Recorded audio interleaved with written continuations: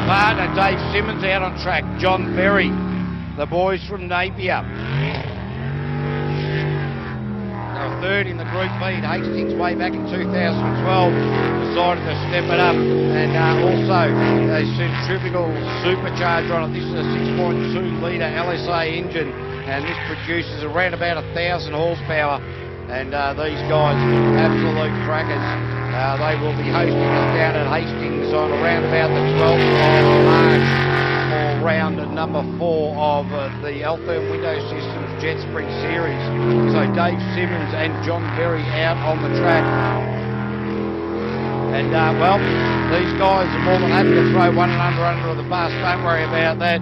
Dave Simmons, the driver, actually pushed uh, Jono back into the burning boat as he was trying to get out. So there was no love lost in that little moment. But Dave Simmons now across the line and a 54.485 by 4.485.